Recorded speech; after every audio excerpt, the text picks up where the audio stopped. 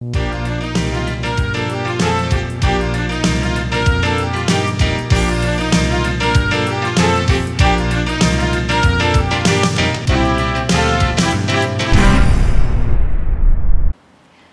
华联乡亲朋友，大家好，我是节目主持人卢宇慧，欢迎您收看《回来最先开讲》节目。我们知道今年十一月二十六号啊是一个很重要的日子哦，这是一个基层的选举。所谓基层选举呢，我们就是要直接选出跟我们在地比较有关的，包括了行政首长啊，或者是民意代表、村里长等等呢、那乡亲朋友们在投票的时候呢，一定会想要选出自己心目中最理想的那一位候选人，也希望当选的候选人呢，能够真正为我们这个地方做更多的建设，让相亲更幸福哦哦。那所以今天呢，在节目当中，我们特别邀请到了花莲市长候选人我们的魏家燕。那先请家燕跟大家打招呼。呃，各位市民朋友们，大家好，我是市长候选人魏家燕。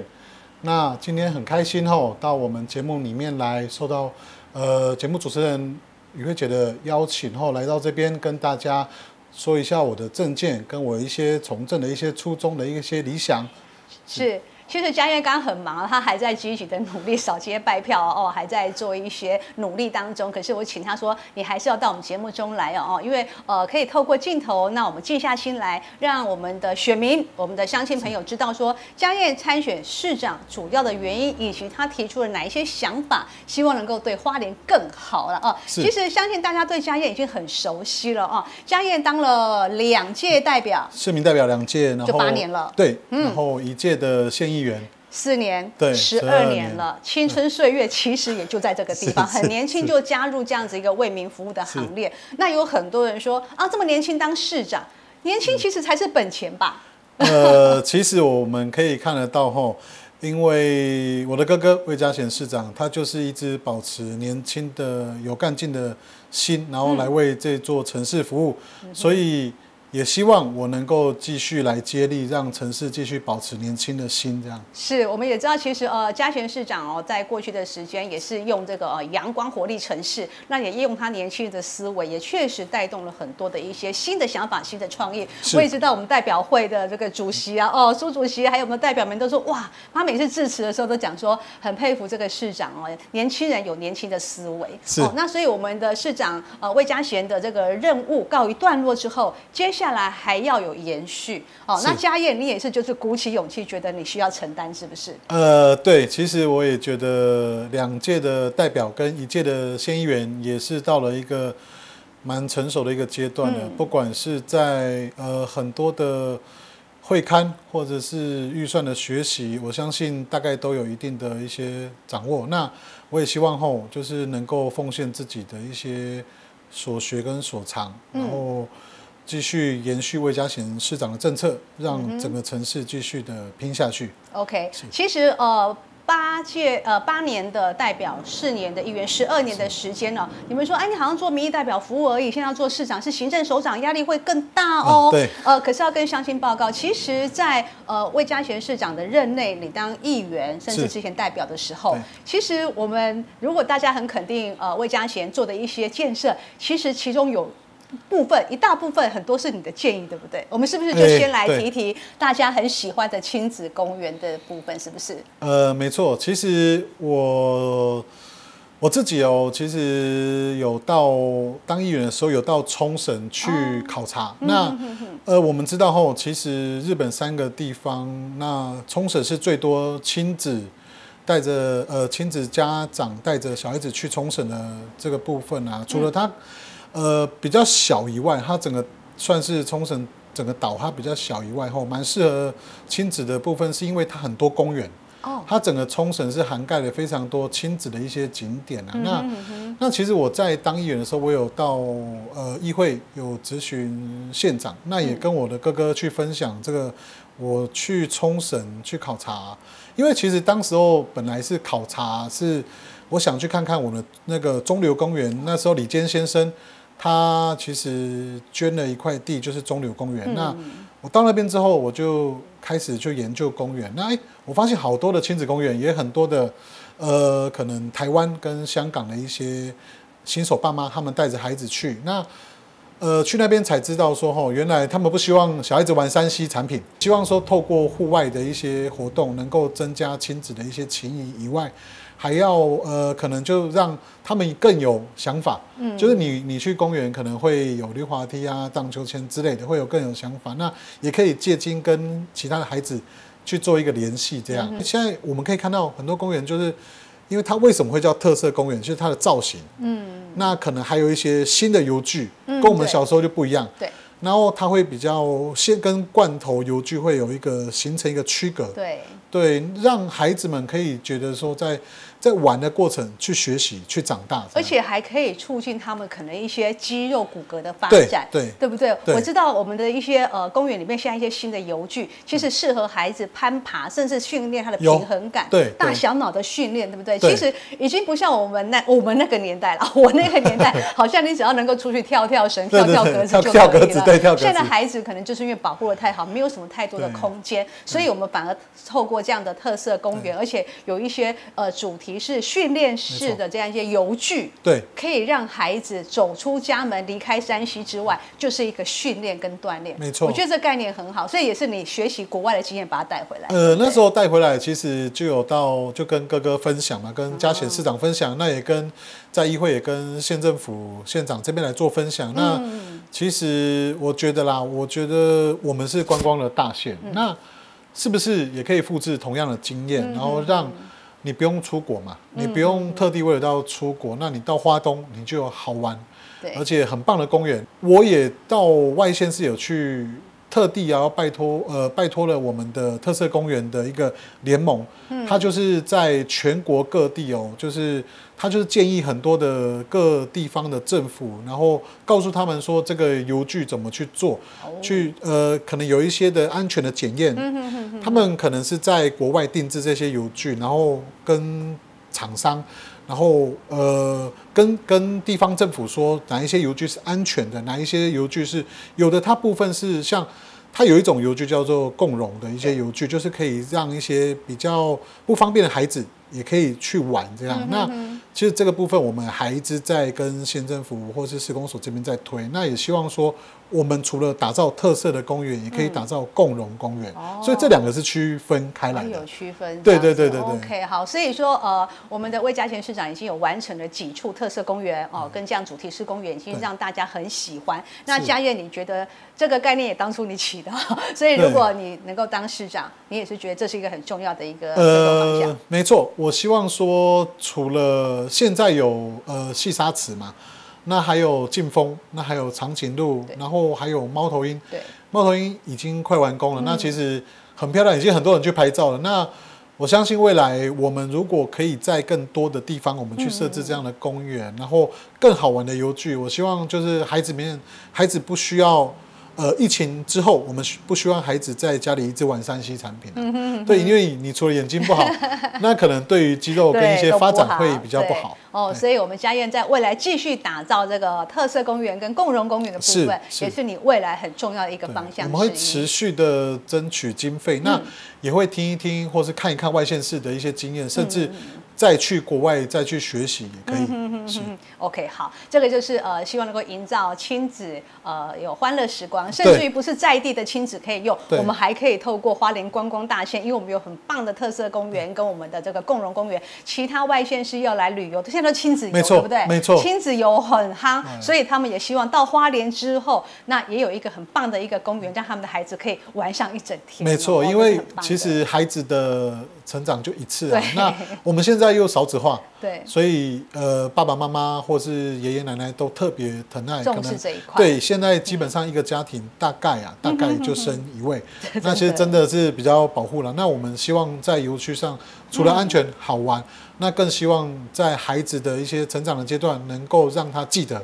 哦，原来这个公园是他一个回忆，这样好，所以我们很期待未来的呃魏家院市长能够继续为我们努力打造更多的特色公园、主题公园或者是共融公园了啊。是好，那这个是亲子旅游活动的部分。那还有一个问题，最近真的是大家都很有感，新闻最近也才在播，我们树花改因为雨量的关系，连树花改都积水淹水停电了。对，那我们花莲市也确实哦，最近几年这种极端气候，相信所有的人都觉得以前没有发生过这些事啊。哦，可是这个雨瞬间的雨量真的是就让花莲市淹了。那呃，这个部分是不是嘉业你有看到问题所在？是不是也可以跟大家说一下？呃，其实嘉燕在当市民代表，甚至一直到议员啊，其实我都有建议，我们的排水系统可能要做一些更新或是汰换。嗯，那就是说，可能及时的雨量真的非常大，对那导致可能我们的水沟的一些呃管沟可能要对于它整个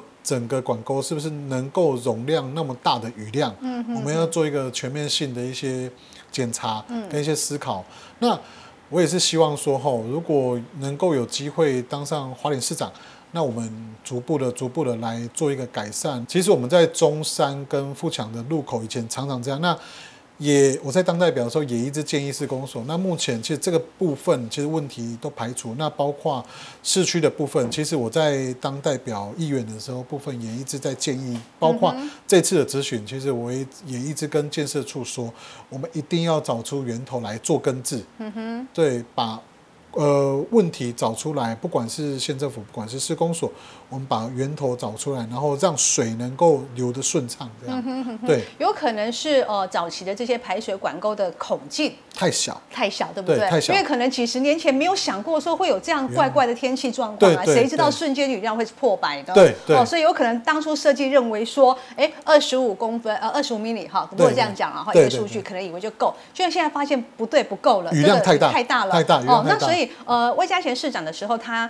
我觉得他上任的第。第三天就花莲市就大淹水，哇！我还记得那个画面，我也陪他在那边淋雨啊。哦，所以那时候他就开始觉得这是一个问题，可是现阶段没有办法说把管子换就换。对所以这几年的时间，魏家贤市长他是一直在强调，至少让他先通。没错，对不对？所以这个水沟疏通对哦的部分，他一直在努力，清洁队也很辛苦，工程队也很辛苦，就是一直在排除塞住的地方，没错没错对不对？那嘉燕，你认为说塞的地方这个通是一定要让它通，对可是管子本来就太小，没错没错这部分我们未来会会很难吗？这要换是不是大工程啊？呃，其实要争取很多的经费嗯啊。那其实我们也是希望说，如果民众这边有看到呃，可能有一些呃，可能有一些烟蒂啊，或是有一些垃圾，嗯，那是不是可以通报清洁队这边先做清洁？像我有一次到市区，那有一个阿姨跟我讲说，有一个老板娘跟我讲说，哎、嘉燕，这个水沟已经很久没有办法通了，哦那是不是坏掉了？其实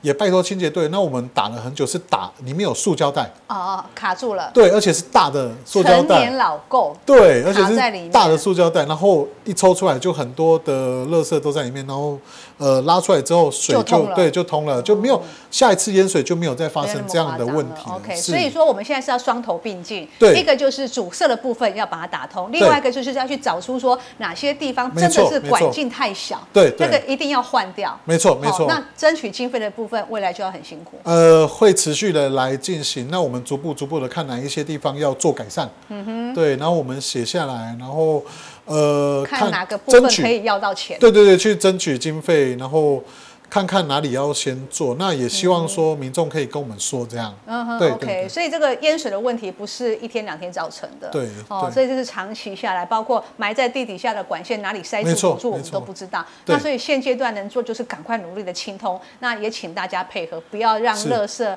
落叶，呃，还是家里不要东西主要主要其实还是落叶跟烟头会比较多啦。嗯那也是希望说，大家呃，大家尽量就是我们少吸，不要吸烟呐，真的要戒烟还是要有呐。对对对，要公德心，哦公德心就是我们不要把烟头弹到，因为你你你你其实。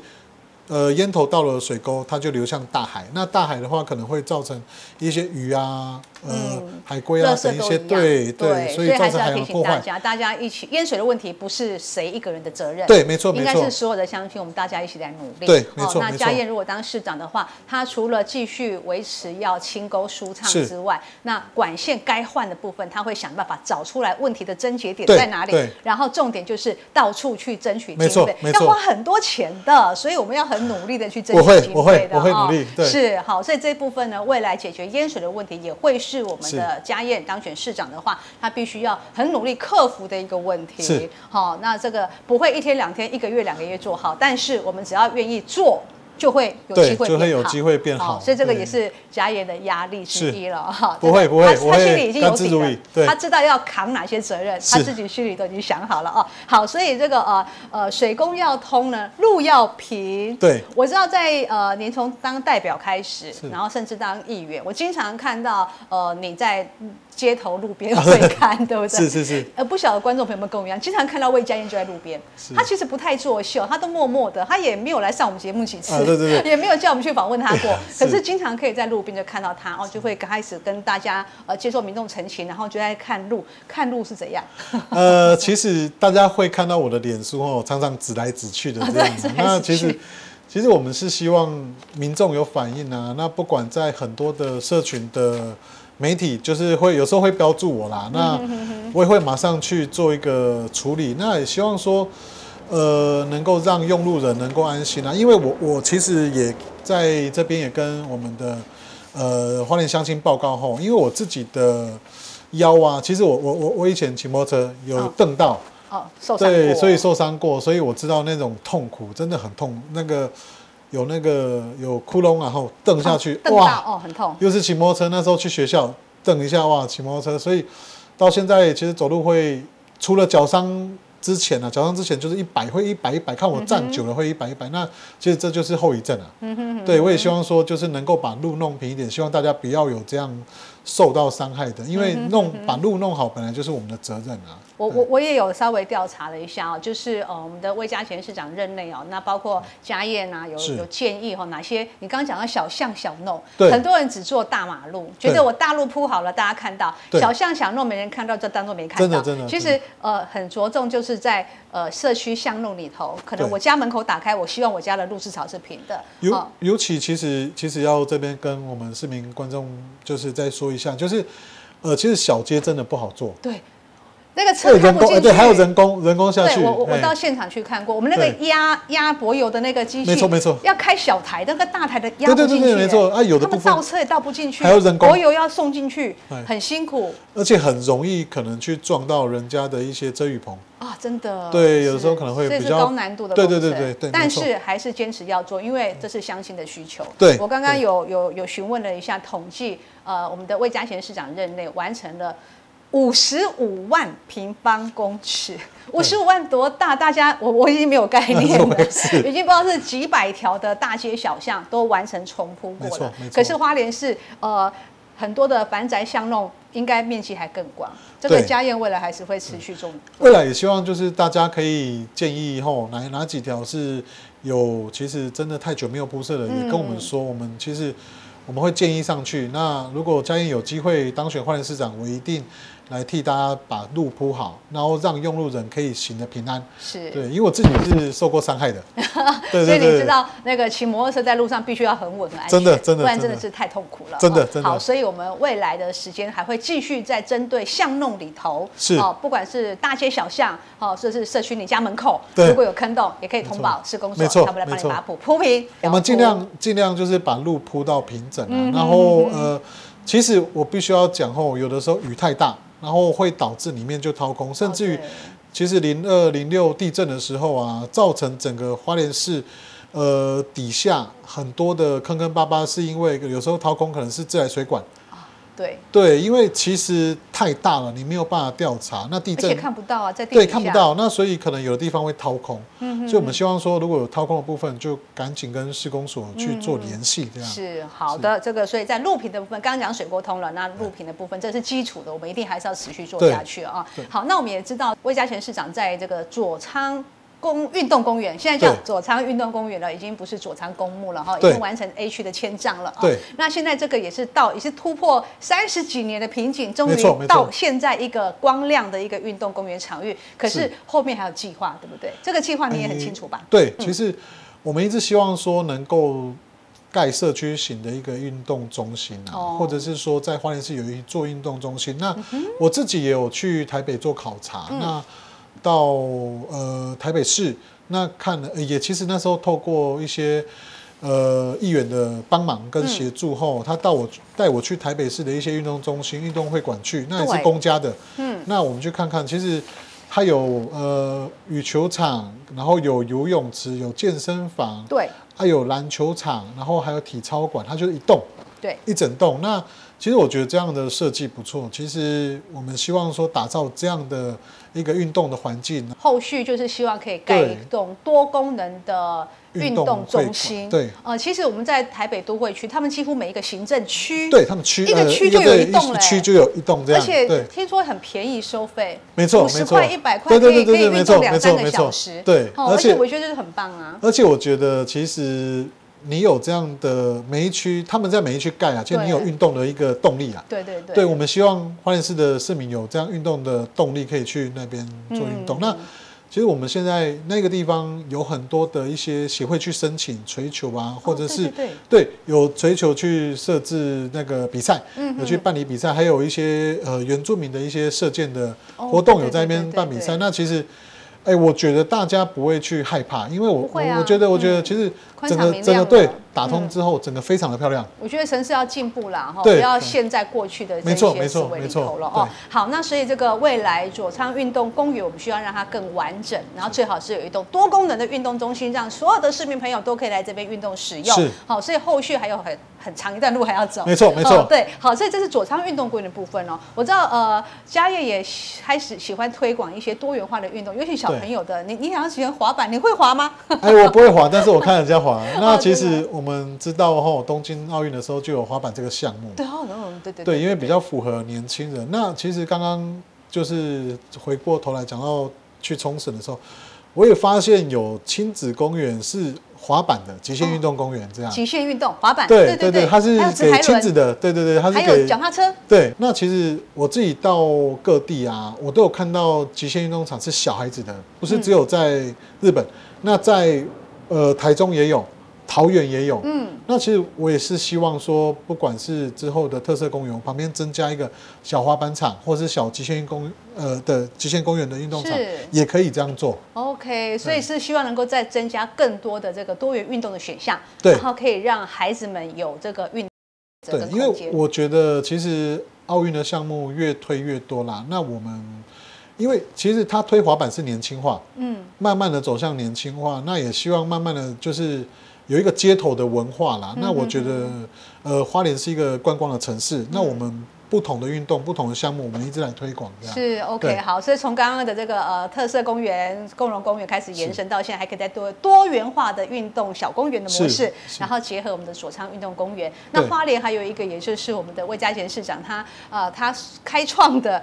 太平洋纵谷马拉松是好，那那接下来如果你当市长，你会不会是继续支持啊？是一定啊，这一定会支持的，因为其实每年都非常多人哦，都六千到八千，那可能疫情之中间有受到一些影响。那呃，这项其实由魏家贤市长打造这项运动赛事哦，其实真的受到呃整个台湾的这个运动赛事的一个评比，算是非常高分的。那呃，我觉得全国都这样来，那你可以运动，也可以带动观光。其实我觉得这是一项很很好的，未来我会持续的来支持。那我也想说，未来有机会，不管是单车，嗯，不管是各项的运动，或是球类，我们都来支持。哦对我们打造呃可能不一样的模式，我们去进行。那其实我我觉得我看过很多的呃，像我们的呃路跑，嗯我有看到在城市里面的大街北部都这样子吧？对，那其实他们都在高架桥跑，没错。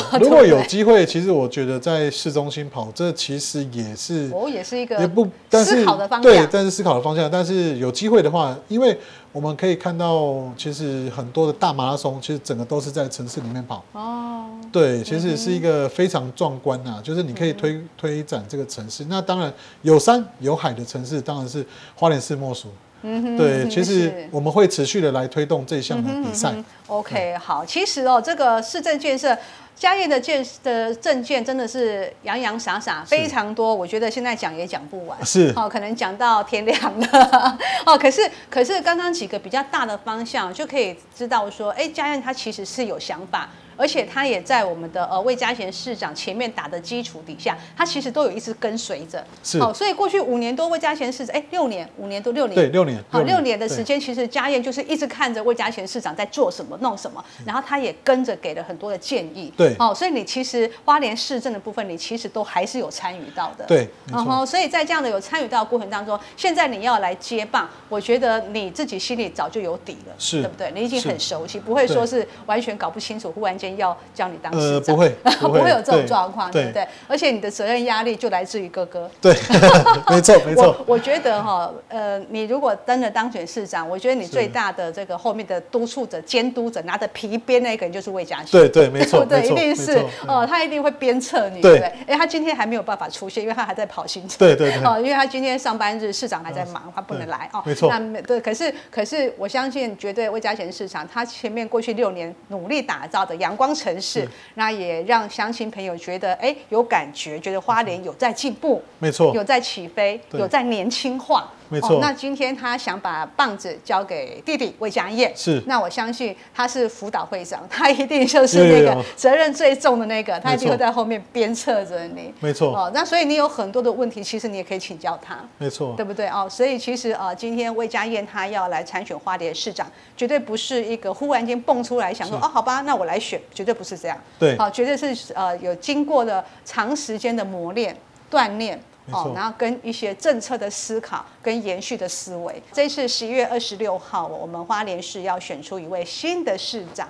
哦，那所以今天的节目呢，也希望家燕的分享能够让乡亲朋友们更认识家燕。哦，也更知道说，哦，他为什么要选市长？那他当市长之后，他愿意做什么事情？有没有能力？有没有责任？这个在今天节目当中，短短的时间，让大家能够看到家燕她的真心是诚意。没错哦，爱花莲继续拼，对是这样说吗？谢谢哦，好，那最后是不是家燕跟乡亲朋友做个恳托？呃，也要跟我们所有在电视机前的我们的市民们，呃，跟大家恳托后，呃，家燕十二年来后，呃，勤勤恳恳的，其实只要一通电话后，我都马上到，呃，马上去解决这个问题，或者是说，呃，隔一天，我隔一天，其实晚上打，我早上就到了。那也希望说，呃，在这一次后，大家其实可以去看看其他的候选人的证件跟家人的证件后，跟呃，家人其实其实真的不是呃凭空出现。那服务了那么多年，我相信不管在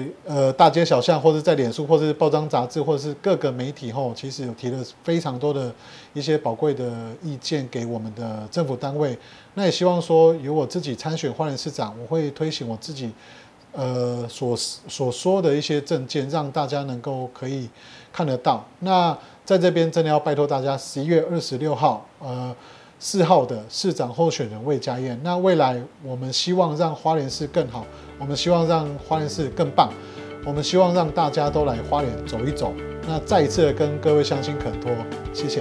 好的，十一月二十六号，重点就是十一月二十六号，大家要去投票。对，好，谢谢大家一定要去投票。那如果你认同这位候选人，你认同这位市长，那请大家能够多帮他拉票。